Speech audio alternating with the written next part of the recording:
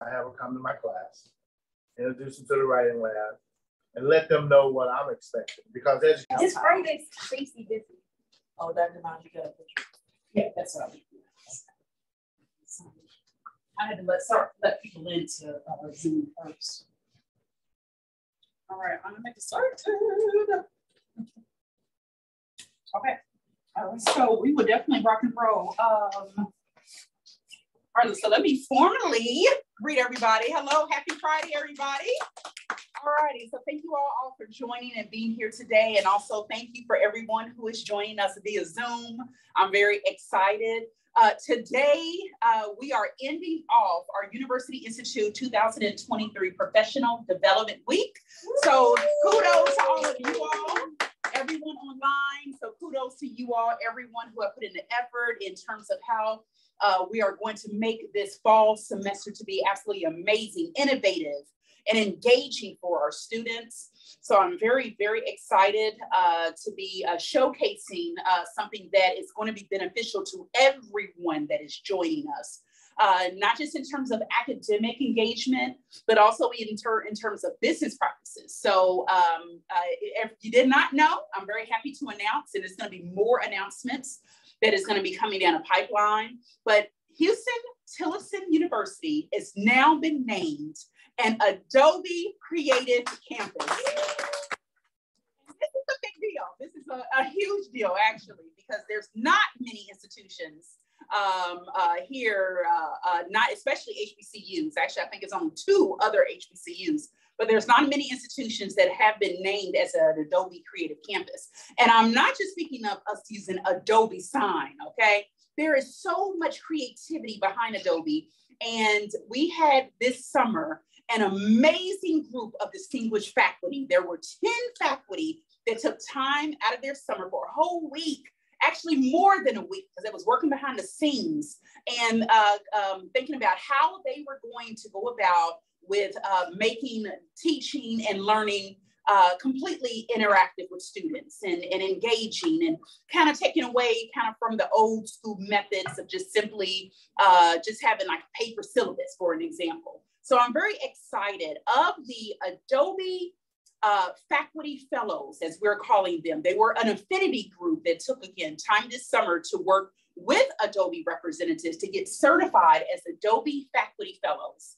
And um, this is, again, something stellar because uh, understanding and learning all of the Adobe tools and software programs, such as Adobe Express and Adobe Rush, having students and thinking about how they would go about with doing podcasts for uh, an activity, a class assignment, how they can be creative with meeting the curriculum requirements um, uh, that is posted in the class, but doing it creati creatively. For instance, that you're going to hear from Dr. Kruger about how to be able to create their own website, which is so simple, but so engaged, allowing them to be creative.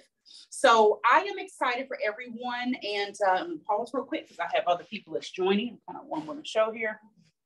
Um, okay. So we have others that are joining us. So a very big welcome. One second. Okay, good. All right. Because I didn't want anyone to not miss out on all of that what you're about to see. So again, uh, this summer, the group of faculty had the opportunity in getting certified with Adobe Express, Adobe Rush. But guess what? It does not stop there everyone that is tuning in, everyone here, faculty and staff, every one of you all will have a license to be able to go into the Adobe Creative Cloud. And what that means is that you get access to all of the Adobe products. So you even get Firefly. Uh, you're going to be able to even access Photoshop. So again, the creativity that is at your fingertips so that where you can be able to task your students in completing projects and utilizing these new innovative tools, okay? So I'm going to stop there. I am excited for what you are going to witness today. You are going to first hear from Dr. Kruger, who is our faculty fellow here at uh, Huston Tillotson, also a professor of English. She's going to showcase her e-portfolio, where she's going to show us some, uh, first her electronic syllabus. You heard that right, okay? We're moving to electronic syllabus. Why not send your students a link and they can be able to follow along and knowing exactly what is required of them than a static Word document, okay? Or just actually use it even uh, together as a supplement. So uh, you're going to see an electronic uh, syllabus. You're going to also see a course that has uh, been identified for uh, uh, freshmen. And then also, to, so, sorry, for your upper level English class. And then also you're going to be able to see her teaching portfolio. After Professor Kruger, we're going to hear from then Dr. Stewart, who is our chair for English, none other. We love Dr. Stewart. Go English. And I have to even put a, a pub here is because Dr. Stewart is truly the heartbeat for this whole entire project. Uh, I had the opportunity. Forgive me, okay? All righty, especially um, President's office, so yes. All righty, so again, for everyone is joining, welcome, welcome. But as I was saying, uh, today's lineup, you're gonna hear from Dr. Kruger, then you're gonna hear from Dr. Stewart. And as I did wanna give people their flowers, I have to say this whole entire project with us becoming an Adobe Creative Campus is in part to Dr. Stewart. Um, um, I'm so excited because she has already piloted this before we even made this campus wide last year for her content and layout class, and where every one of her students created their own logos and their own website, everything to help them to think about graphically being graphically designing, for companies and for projects. And you're going to speak more on that. So listen in to the amazing things that Dr. Stewart has in mind and what's, uh, what we're going to do. And last but not least, we're going to hear from natural sciences, none other than Dr. Rosa Mino. So I'm very excited. So guess what? You're getting the best of all worlds, all disciplines here. So everyone listening in, again, this is not just for academics, all disciplines, yes, but also too, if you're working in a business office or if you're working in the president's office or in student affairs, everyone now has access to the Adobe Creative Cloud. So think about how we engage students and how we can be creative doing that. So with no further ado, ladies and gentlemen, Dr. Kruger. Okay, very quickly, I just want to say a couple of things. Um, for one, I'm not going to assume that you have not already been creative because I'm one of those creative people. I've done a lot of this stuff before um, joining the Adobe Fellow class. Um, so there's another Adobe Fellow class coming up, and Dr. Miles is going to keep you guys informed on it. I'm not talking to y'all, I'm talking to people. uh, there'll be another class coming up so you can learn all of this stuff if you have not been using it. If you have been using it, you could have been like me where you were using Canva and then you were using Wix and then you were using like, like four or five different programs to create what can be done in a one-stop shop with the Adobe um, access that you guys now have. So I'm going to share what I have and I'm going to be adding more to it and let's get started. All okay. right. So this is my teaching portfolio.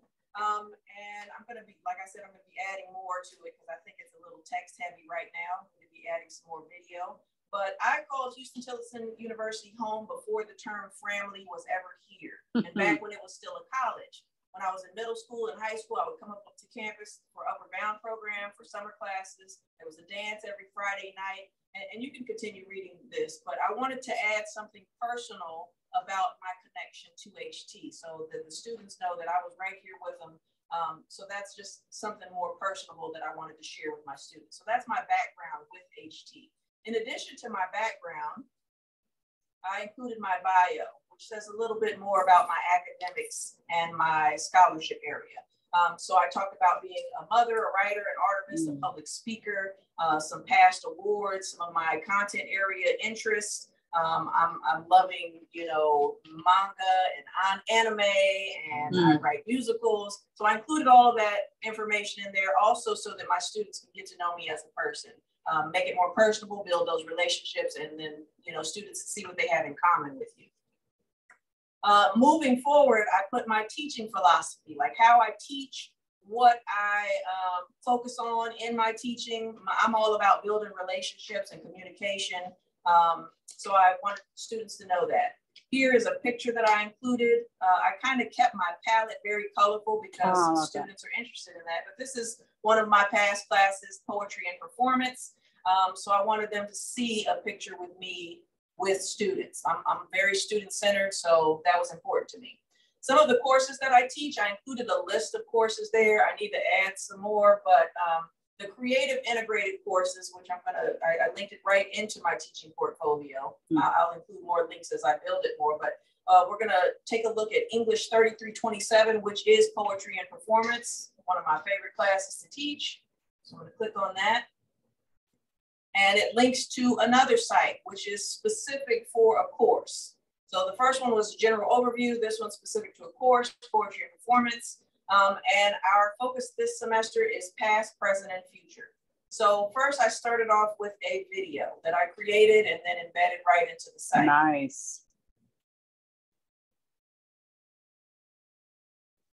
Oh, you can't hear It's probably the little mark, the black deck in front of you, to the little kiosk. Okay, well, when you send this out, they can look at it, but I basically used a poem to introduce myself and do a, a quick overview in poem format so that my students know, hey, this is what you're gonna be doing. Um, a lot of you with AI are moving towards more presentation-based work this semester, um, just because it, it cuts down on plagiarism and what AI is capable of. And so I wanted to make sure I had a video because my students are gonna be videoing some of the poems that they create in class. Um, I went through why, what, who, where, how, and then I went into an assignment overview because this is the digital syllabus. Our first assignment will be a lip sync battle so I can assess the performance of the students before they even start writing poetry um, and just kind of give them something fun to do and that allows them to uh, sort of bond with each other as a class. Everybody can be silly. And then when they start talking about serious topics in the poems, then we've already created a safe space in the course. Mm. Um, then we move through poems that reflect on their past, their present, and their future. And that's a one minute, a two minute, and a three minute poem. And I go into that a little bit more detail, but the one minute poem is a personal narrative type poem. The present poem is about, I gotta go back an extended metaphor poem about something that is in the present. And then the future is looking at what's happening around them um, and sort of predicting what they're going to see in the future or making some sort of proposal about how to fix something, uh, an activism centered poem. Um, so then they will move into the final digital portfolio presentation and we have a student reading at the end of the semester, which I always make open to the Canvas to come and support the students. So you'll get an email later on about that. Um, the final, final portfolio, I have included a student sample from a previous course. Uh, and we also learned about podcasts. So I'm gonna click on that. It's gonna take us there. And here I have a short podcast that just gives a recap of all of those assignments throughout the semester. And then I included a student sample um, of a presentation where they went through each poem that they did throughout the semester to create a portfolio digitally, which AI cannot do. So make sure you uh, incorporate some of these for your students as well. Um, but that is it. I created these three pages and I'm gonna be putting more together for each of my courses uh, because our students are very, very visually based um, just because that's what they see all the time. They're very media focused. They have short attention spans. So you want to make sure that you have something visual for them. But that's it for me. And as you close out, first, you're right. Thank you, Dr. Rivers. Yep. So Dr. Uh, Kruger, as you close out, if you don't mind, now that the volume is turned up, anything that you would love for us to hear before uh, Dr. Stewart comes up, feel free to go ahead and play it. Well, let me uh, share this little video here, my introduction to my students. Welcome to Poetry and Performance. In this class, I found you to be brave, to be honest, to be present, to push past the program response, to dig deeper, to make choices, examine nuance and voice and style and character of what makes you you. Like the past, the present, and the future, you too, I want to know your dreams by the look on your face. I want to know your fears around religion, gender, race. I want to know that you know who you are, where you are heading, and prepared for how far. Here is where safety meets confidence with voice. Here is where words mean action, not noise. So I thank you. Thank you for having the vulnerability to go on this journey with your fellow peers and scholars. It may come out a whisper. It may come out a holler, but here Let it come how it comes. Just let it out. I am Professor Janine Doc Kruger, most common Professor K, or Doc. I am a mother, a writer, a public speaker, and an artist, using poetry as an hmm. outlet for social justice and exploring identity. I cannot wait to meet you all and tell you more about this course and hear what you have to say. Love it. I want to take your class. All right. Thank you, Professor Kruger. All righty, next up, ladies and gentlemen, Dr. Stewart.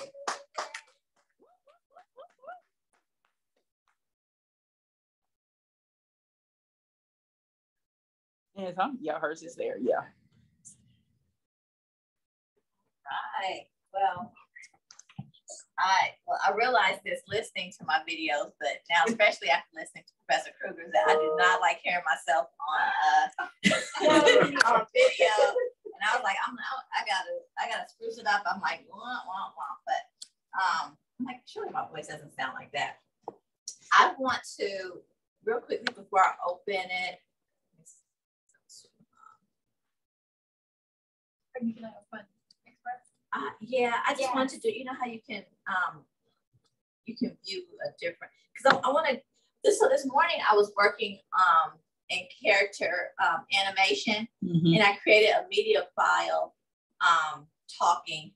It was, it was like a, you know, an Oh, animated you character. Yeah. Oh, I love it. in background. So I, I'm gonna open. And up. if you want, you can just simply right click on any of your links to the, uh, yep, any, um, over to your right. Well, I haven't linked it yet. Oh, So okay, no go- worries. Go You go ahead and, yeah. So I was just trying to, um, but anyway, it doesn't matter. Uh, let me go to my OneDrive quickly. Okay. You may have to sign me out just in case if you're trying to get to your OneDrive. Okay. Find Uh-oh. Sorry. Okay. Like, Uh, let's go to, um, okay, perfect, perfect. Um, I just want to see, because I was trying to link it and because it was, um, because it was a media file and I hadn't like exported to YouTube or Vimeo. Okay, I just want to get out of here. You know what I recommend, Dr. Kruger? Let's do this. Go ahead and close out of this browser. And then let's do this. Go back to um, Google Chrome at the bottom.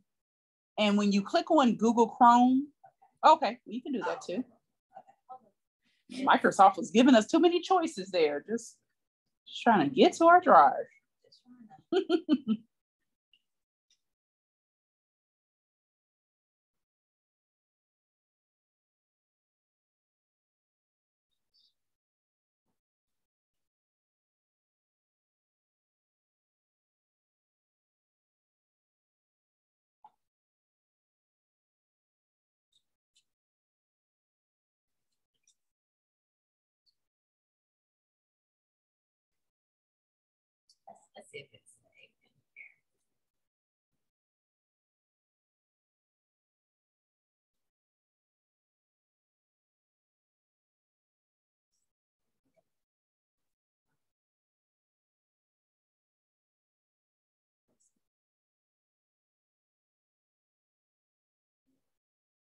I don't, remember. I was. It was like right before, and I was like, I don't know why I decided to try something right before.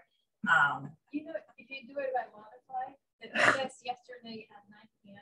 that's when you it was. I just uploaded this morning. So twenty-two minutes ago. Yeah. should have worked. Oh, okay. Yeah. Okay, thank you. Okay. yes, there it is. All right, let's see if it'll open now. Okay, but while I'm waiting for that, I'll show my portfolio. Um, I think you can.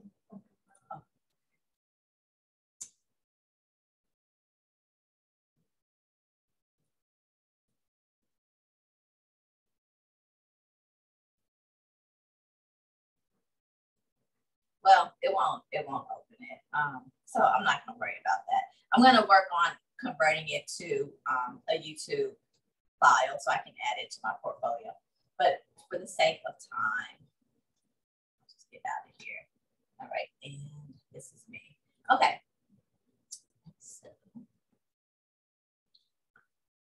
And then you click on it, go ahead and go to uh, Google Chrome and it'll open in one of those tabs.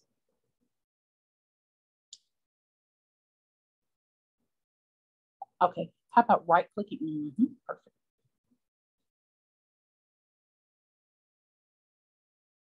So just sign in to your, your journey.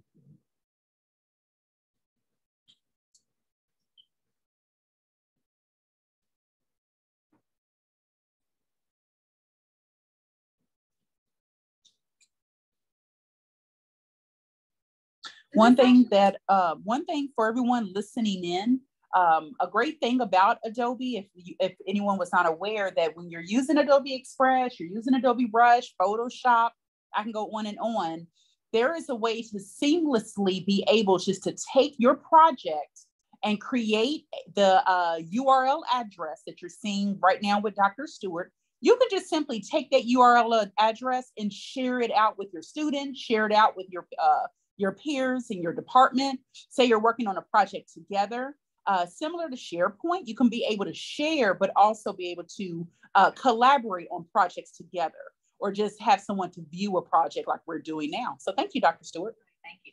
Um, all right, and so just real quickly, um, as Dr. Miles mentioned, I, I, was really interested in us becoming an Adobe Creative Campus. And um, last semester, and I and actually when we um, when we when we got the creative uh, cloud during pandemic, it was one of the um, one of the softwares we were awarded. Were awarded.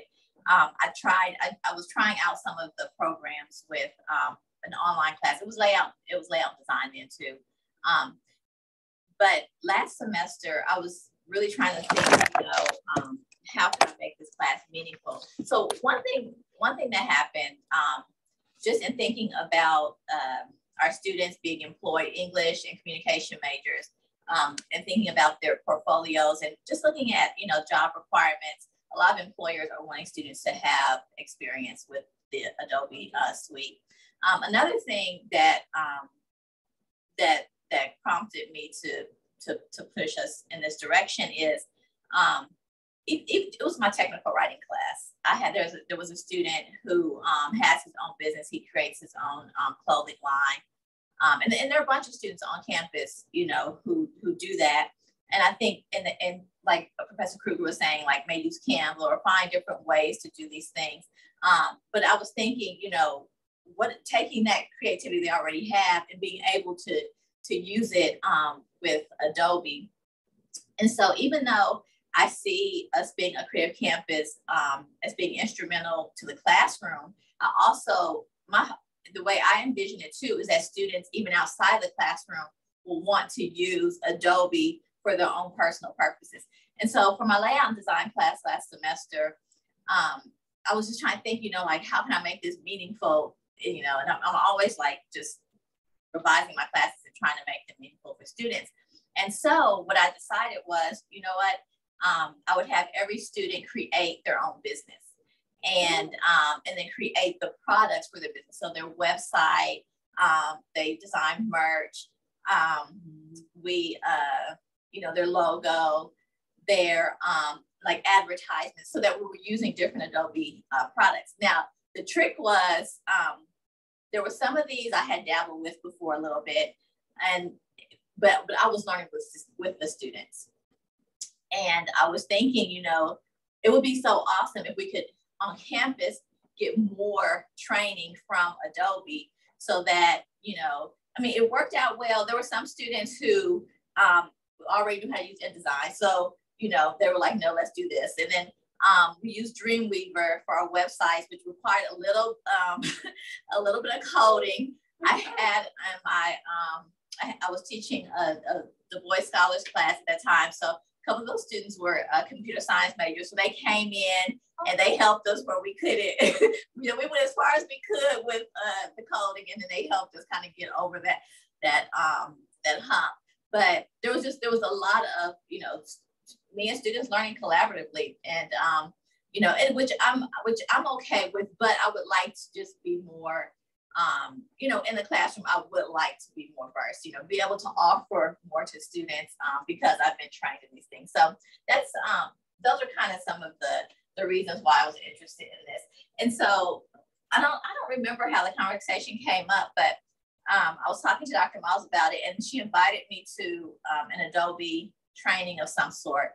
And uh, and one of the presenters was showing they call it humanizing the um, the syllabus, and which is kind of similar to what what we did here.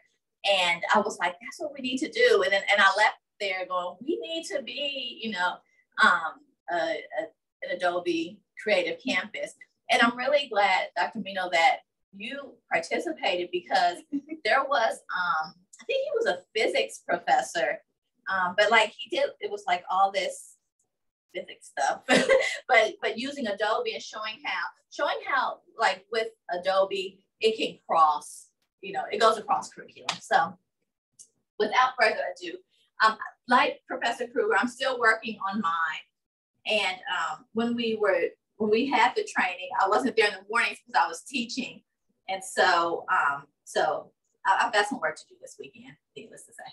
But so the the um, the, the media file that I created with the talking animation, I was going to add to this page, um, but just kind of this is just kind of my, my 150 word uh, bio that I use commonly. Um, these are the courses I teach at, at HT. Um, and then I've linked um, my 1302 course, which I will show you.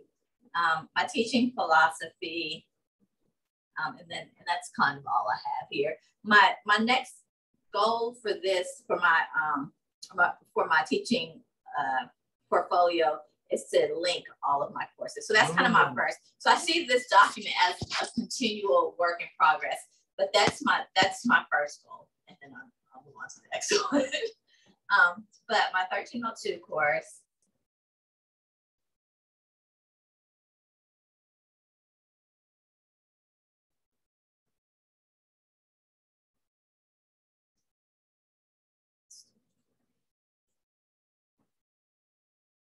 So college rhetoric, rhetoric and composition, um, you know, how to reach me, of course, description, some images, major assignment, and then I was gonna, I'm gonna, I want to add um, video here. And similar to what um, Professor Kruger was saying, you know, I want to add more kind of audio and visual to it. Um, you know, the good thing is, you know, and, and even in my course syllabus, there's a lot more information in here than this. And so one thing that, you know, I'm challenging myself to do is figure out how um, to present it so it's not too text heavy, to find that that good medium between mm-hmm. the two, um, while also providing students with all the information. And, and, and, and I think the good thing is too, once I, you know, on the front end, there's a lot of work to be done.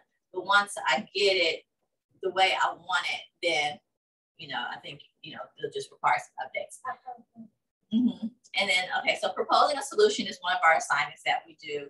Um, I created this little podcast I mean, we can play a little bit of it if y'all want to. But yeah.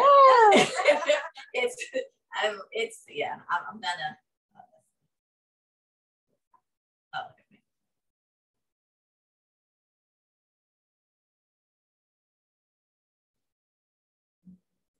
In this audio recording, we will talk about proposing a solution. For this assignment, you will be proposing a solution to a local problem using the problem solution justification structure to develop a digital multimodal proposal argument. You'll be writing to someone who and so I'm like, yeah, uh, we're gonna work. On That was one of my big problems. oh, and yeah, so I'm, I'm kind of like Dr. Miles. I may I may need to take Professor Kruger class. No, it's good. It's good stuff. Um, and then, you know, the why, the who and what, um, you know, where. And so, and normally for this assignment, students will, um, they propose, so over the course of the semester, they are writing arguments about a, a, an issue, um, normally like a, a justice issue. Um, and the sample that that I started, I'm dealing with uh, food insecurity in Bastrop County. I live in Bastrop County. And so normally students will uh, write a letter to um, someone in their local community who could help solve the problem. So leading up to the proposal argument, they've been doing research and like um like they write a causal argument, like what's causing the problem, so on and so forth. And so now we're at the semester, they're proposing a solution to someone who can help solve it. Um, so what I'm thinking through is, of course I still want the writing piece, but for their their assignment now, they're going to publish a website, to use Express that includes text, video, hyperlinks, and images. And so now this um, assignment, which was just predominantly before um, text, is now multimodal. Um, and then how, um, it's kind of the rubric you know, due dates. And then I started a student sample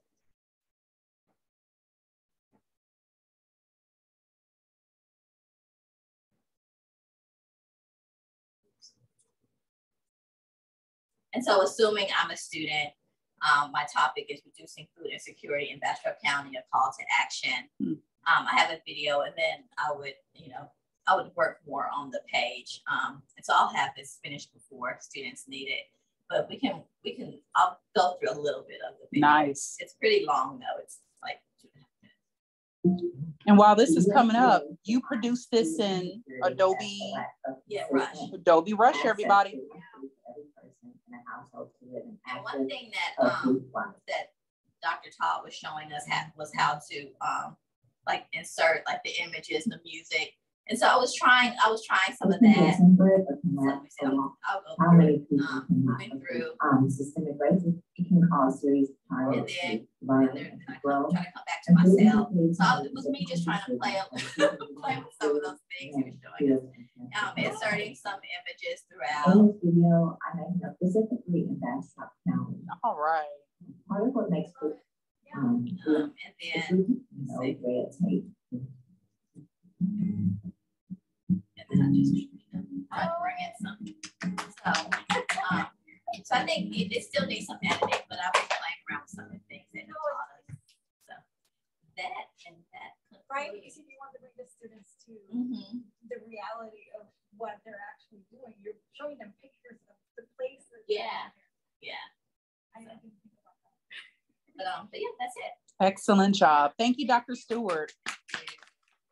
An absolutely great job of showing um, faculty uh, ideas of how they can use Adobe Express, Adobe Rush, which was the uh, editing and the recording, the audio that you saw with the embedded images, the creativity in that, but also uh, the idea about how you can get students to think about your, like you gave them a real world issue, a call to action. So I love that. So any faculty can do this. Any faculty with anything within your doing your curriculum, having the students to be creative. So next up, we're going to hear from Dr. Rosa Mino.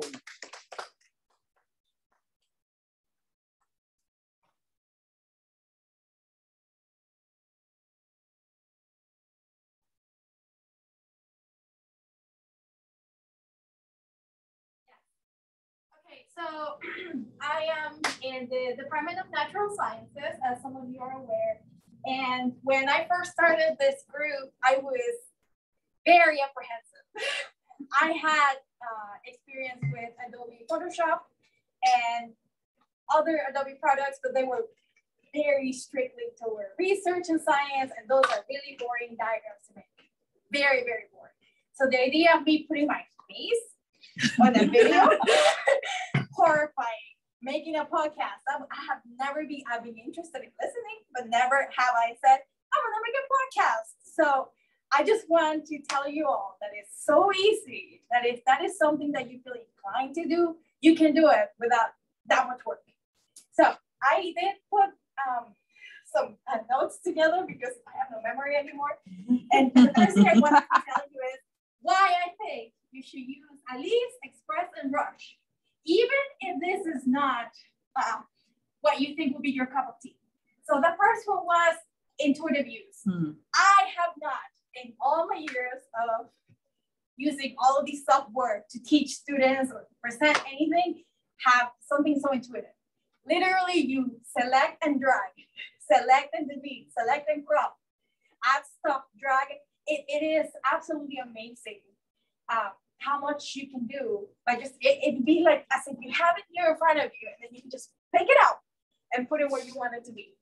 So the intuitive use for both of them is a, a sale point for me. The other one was time saving for material generation. I do make a little graphs and put together for my students. And it usually takes me a lot longer because either you do it on PowerPoint where things move where they shouldn't, and then they get offset there, or you do it in Adobe Photoshop, which takes freaking forever to load because it is a heavy program. This thing, two minutes. I created a flowchart. I'm not going to show you the flowchart right now, but I created it for another one of my classes. So absolutely cut some time for me to be able to give them fresh material that's not just randomly on the internet, but that I create myself.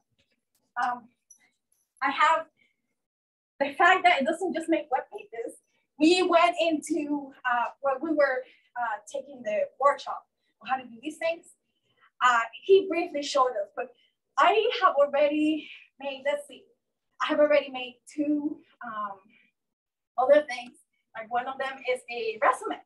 They have templates for resume with examples of how you, what you would write in there. So I am going to teach my students to make resumes in there because hmm. my class, like you would see, the one that I teach for this, is for students that are leaving. So they need to be able to show something else besides the stuff that I have myself, which is just boring black and white, my name, contact information. I mean, you can make changes really quickly and all you have to do is copy paste and move stuff around with your mouse. Okay. And they actually have a usable image and video database. So I don't know if you ever do this, but sometimes I need something like picture of a plant and I have to Google it. and then I have to find one that's not copyrighted, that doesn't have the watermarks so that I can actually use it. And then I have to read, like I have to source it back to wherever it came from. Adobe in itself has a database. Mm -hmm. So I don't have to go looking around. I can go into Express, create a picture, search whatever it is that I need, and that's it. And if I can't not find it, there's now AI image generation. Now, and I'm gonna say this because it happened to me, it still has some of the issues that uh, currently play AI image generation, like, you know, people with seven fingers, but it's still good uh, enough for you to do simple things. If you can't find it, you can tell the machine to create it for you, and then you can modify it uh, somewhere else.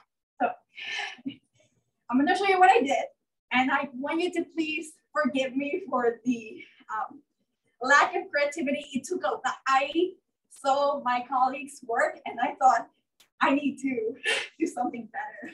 I my the beginning of my portfolio was extremely word heavy. I am very wordy, very. So I tried my best to change that. And this is the result.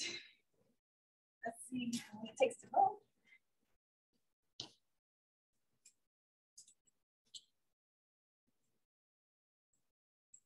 Now, notice that I did not log in.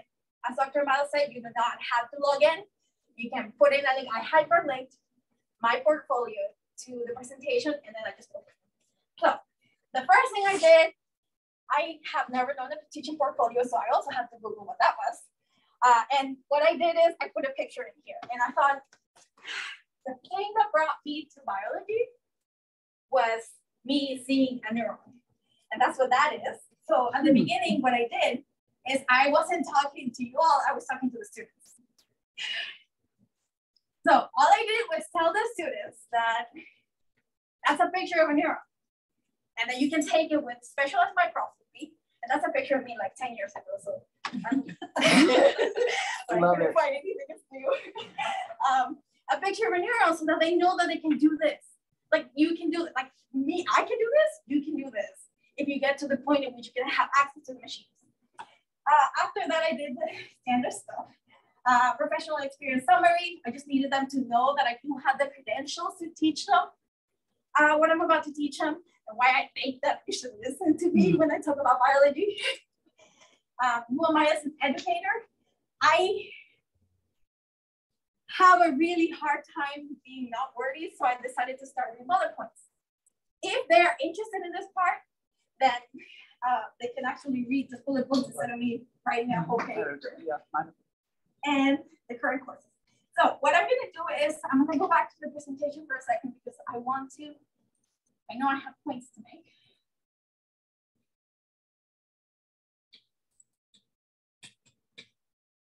Okay, so things that you can do that I did in portfolio that I learned during like the first two days. You can hyperlink a word. That means you can actually attach a website to a word, which is something you can do in a lot of word processing and, and PowerPoint, right? To another page website. That's normal. That's something you do all the time. You can create a button. So it's not just a hyperlink a word that's bolded. You can actually put it in the center of the page and say, click here if you want to go somewhere else to do something. You can embed a video. You already saw that in the previous examples. I did it myself. House in a different site. YouTube, you can use it. And I remember this because Dr. Cervantes did it so effectively to tell your personal history, mm -hmm. right? So if you don't want to write a lot, you can make a short video and say, hey, this is me. I'm from this place. This is where I come from. This is my background. Welcome, students.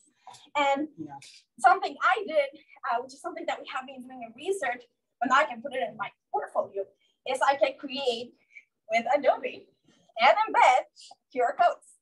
So if I have information to give the students about meetings, if I want to give them my CV, if I want to show them my publication history, I can link out stuff with a QR code, which means I can just use your phone, stare at the screen, and then be done. Because one of the things I have a harder time is getting the students to go back to the syllabus, copy and paste it, and then go outside to look for what they need.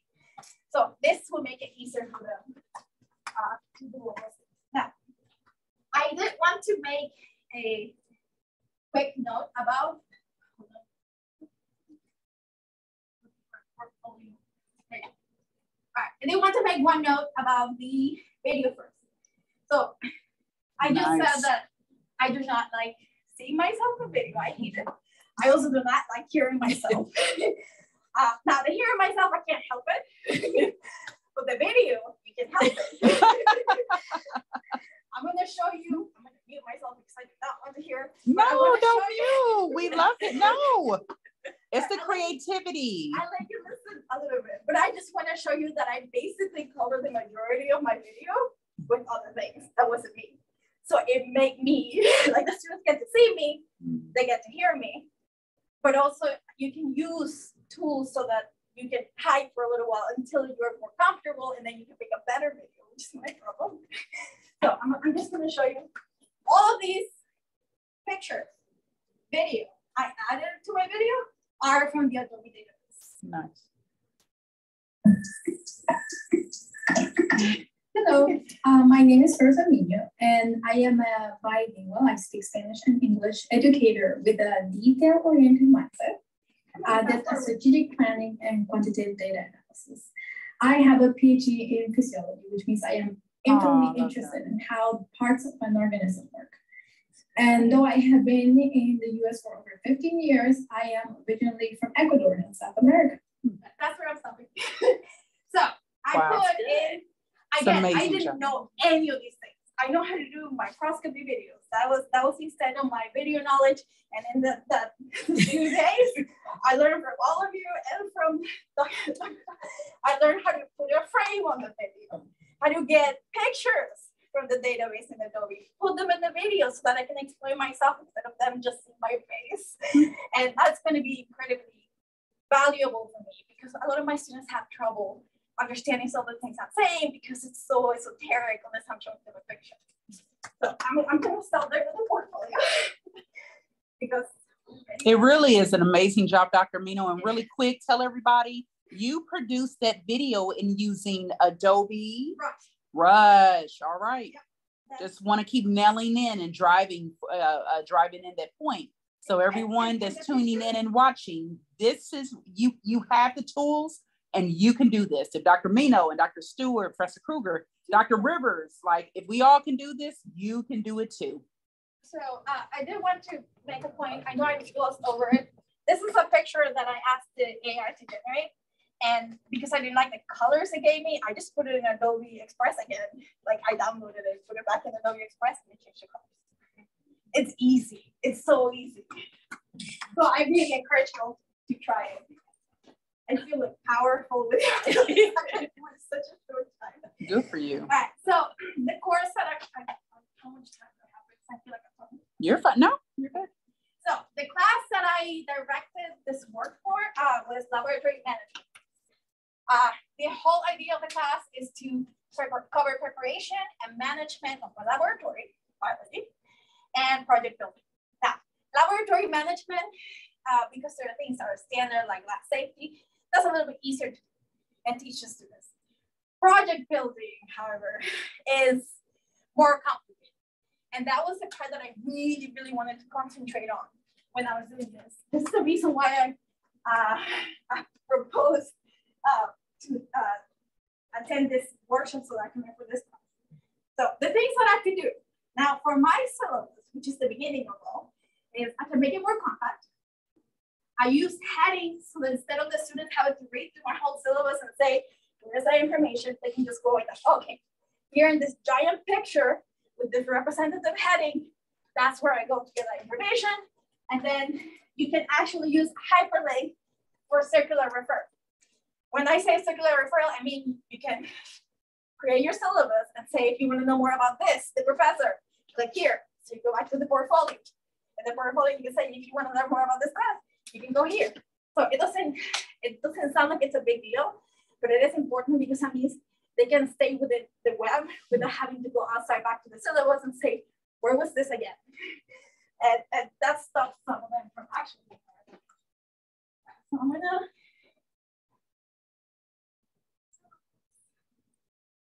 Now my syllabus is a lot more boring looking.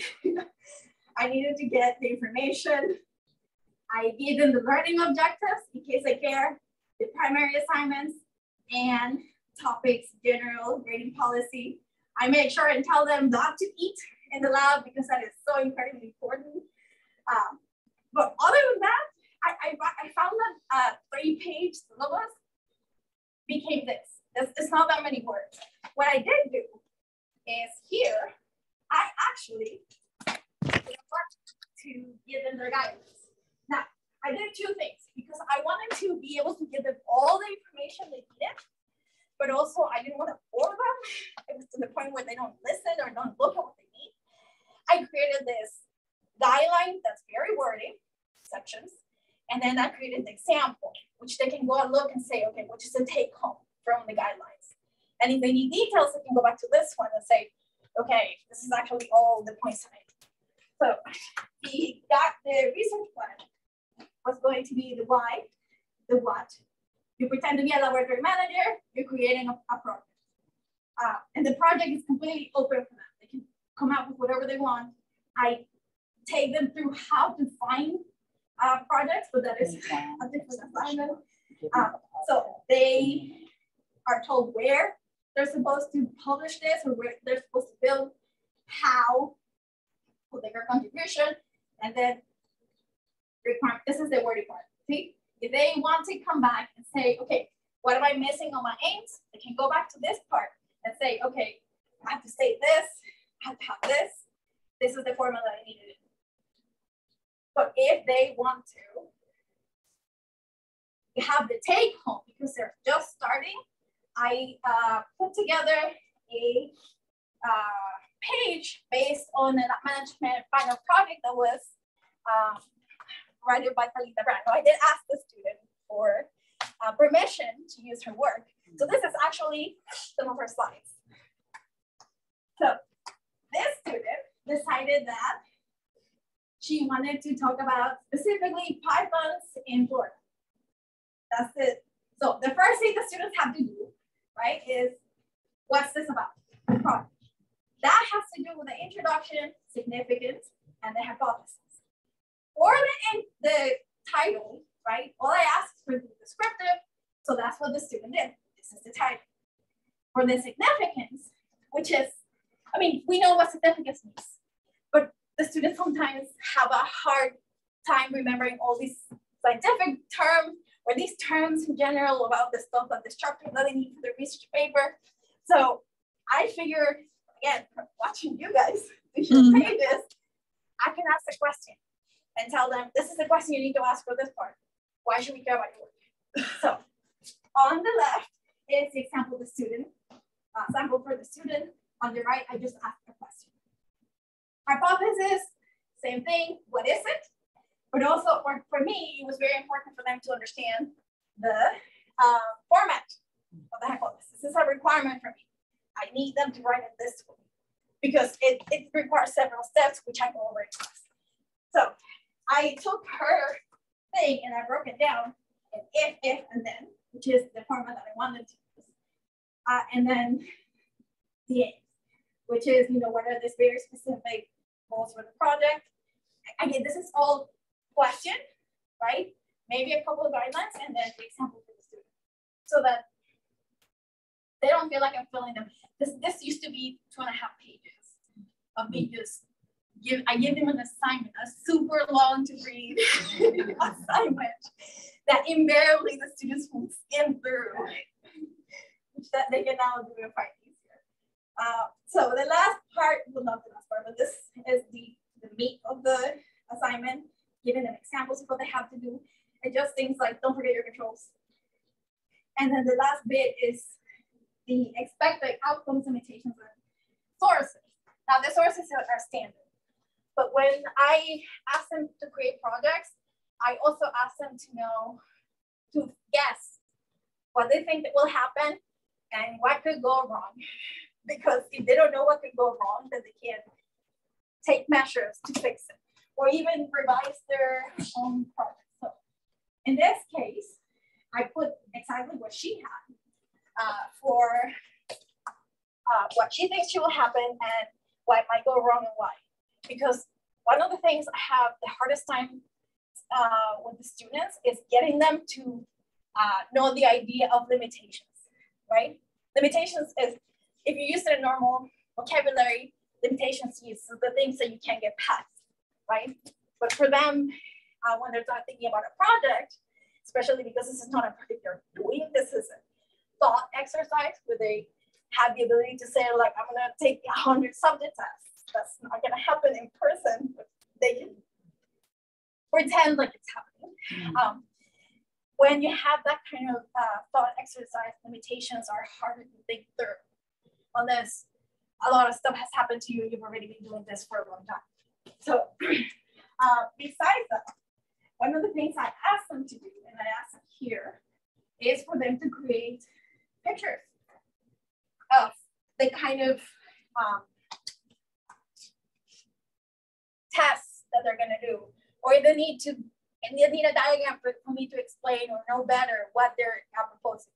Because, for example, this student right here, and I, I have to go and up, uh, was saying that she wanted to do a canvass, an area of Florida, right, to figure out uh, where the virus was. That was the idea what she wanted to do.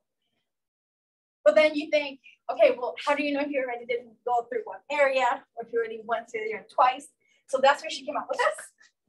And this is something that the students can quickly say, right? That they're gonna propose and say, well, I'm gonna divide it into, I don't know, one meter by one meters. And then I'm gonna send one person each side. And then that's that's it, that's their square. So um, this is the kind of thing that they can do really quickly with Adobe Express. They can actually do nice. a bunch of diagrams, which this student did not do it with Adobe Express. She did it because she had other uh, except she has experience with other programs. but this is something that you actually need to be knowledgeable. And it's an issue because students in that class, it's a small class. So they can't rely on classmates that know how to use other programs. They have to do it themselves. And this is going to definitely help those students that, that cannot do this. Okay, so that's the end of um, what I wanted to show you today. I do have some other elements in my portfolio. Uh,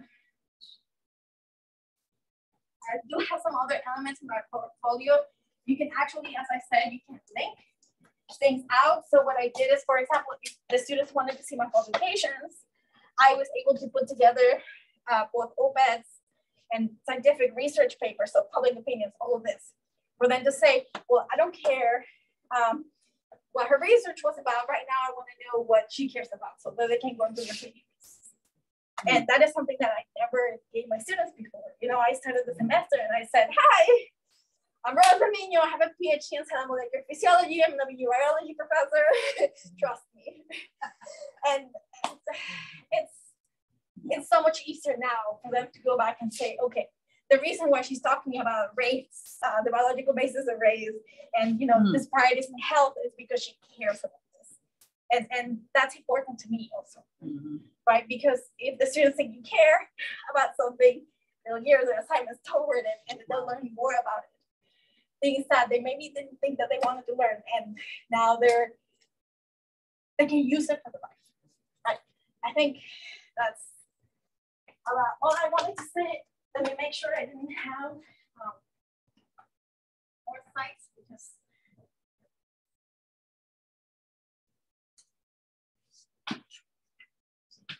right. So I just wanted to show you. So as I mentioned earlier, I just want to show you a quick picture. It doesn't just do uh, syllabus. It doesn't just do presentations, web pages. You can do other things.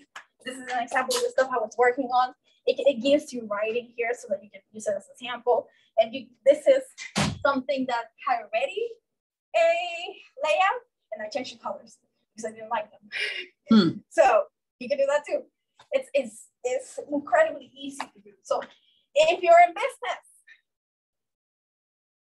your students are going to need, I mean, actually anywhere, your students are going to need a resume. But my bio students sending a black and white resume are more likely to get hired than if you're in communication. if you're in communication and you send a black and white resume, they're going to say, well, what did the student learn? because they should know how to design better than black and white paper.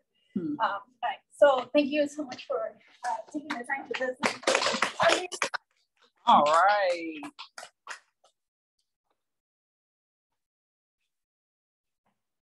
Multitasking. I love, appreciate you all. All righty. So, ladies and gentlemen, I am just, I, I am filled right now, and I hope that you all are energized of everything that you have saw today. So again, I want to thank you all for attending our uh, faculty affinity, Adobe affinity group, their showcase again, all the work that has been done in terms of innovating teaching and learning for this fall term. So a very big congratulations to all of those nine faculty. So you heard from, again, Dr. Mino, you heard from Dr. Shawanda Stewart in English, I'm sorry, Dr. Mino's natural science, biology. You heard from Professor Kruger, who is our faculty fellow.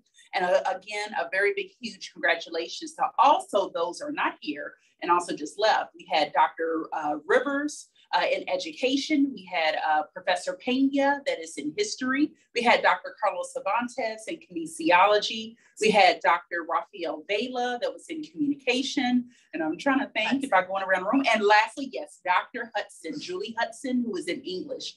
The reason I wanted to make sure that I gave those flowers out to all of those that had worked hard is so that everyone listening in, everyone that is here, it does not matter what discipline that you teach in, you can incorporate Adobe tools into your classroom. And uh, for those that are a little even intimidated and you're like, I don't even know where to start, one good way to start is just simply tasking your students to use this. Why not use a bottom up approach? Students are creative, students are intuitive. And this is a good way to really stretch them and having them to learn uh, from theory and curriculum, but tying in, allowing them to be creative and completing your project. So again, so I want to say thank you. We definitely will have uh, coming up and uh, the announcing of, again, Huston Tillotson being named a new Adobe Creative Campus. So we'll have additional workshops. We'll have a new cohort number two of faculty that can apply uh, to become a new Adobe Faculty Fellow. And again, we want to say a very big special thank you to Adobe uh, for taking time out uh, of their uh, of their schedules to be here this summer to work with us and to pilot this project. So a very big, huge thank you to Adobe, uh, Dr. Todd Taylor at the uh, North Carolina Chapel Hill, and also to, to Brooke uh, Spire. So we're very grateful. So with no further ado, if anyone has any questions about Adobe, feel free to contact me. So again, I'm Dr. Jennifer Miles, and it has been a pleasure to be before you all today. Thank you all. Thank you for joining.